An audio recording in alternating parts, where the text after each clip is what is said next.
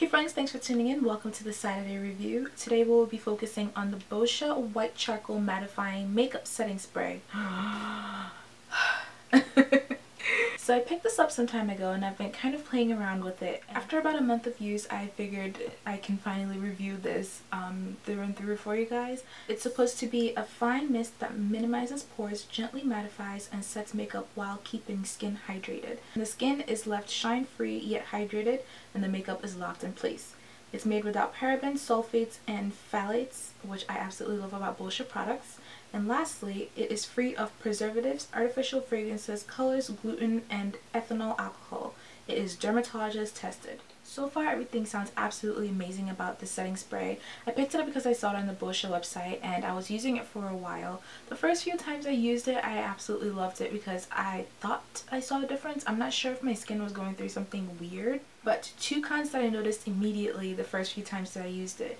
There was a white mist that would come and get all over my clothes, all over my shoes, everywhere basically when I sprayed it. And also I had to shake it so many times because the charcoal in it can you see it now? I've been shaking it for a while. The charcoal in it does settle. Um, it does settle so you have to shake it quite a bit before you use it. I remember the first time I used this and it just got all over the neckline of a black dress that I was wearing and I was so upset because I was going out obviously and I just remember asking I'm like does it look awkward? And the person I was with was just like no it's even enough that it actually looks like a design on the shirt.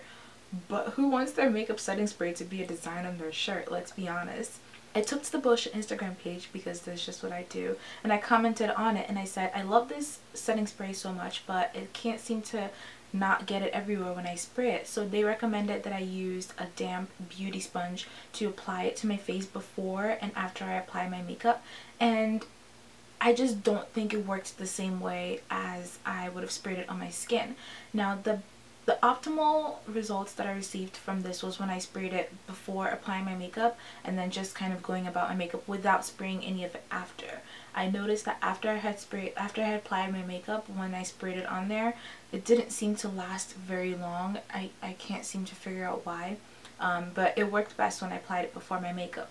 The packaging is very convenient. It comes in this hard plastic bottle. It has a spray cap, obviously, um, because it's a spray, and yeah, I mean, it's very convenient. Small enough to fit in your makeup stash. Definitely not something I would carry around in my purse with me, but it is a 5 ounce, 5 fluid ounce bottle um, US size. So, I mean, it's it's pretty standard size for a setting spray, I believe. It retails for $38 on Sephora, and I think that falls within the price range of most of the Boscia products based on the size, obviously, and what it is. Overall, I'd give this a 3 out of 5 stars because it is kind of a hit or miss use. I'm not getting the same exact results every single day when I'm using this. There's certain days when I use it, I feel like I can stay matte throughout most of the morning, and then there are days where I can barely get through the morning without having to blot or touch up my makeup. So um, 3 out of 5 stars from me for the Boscia mattifying setting spray.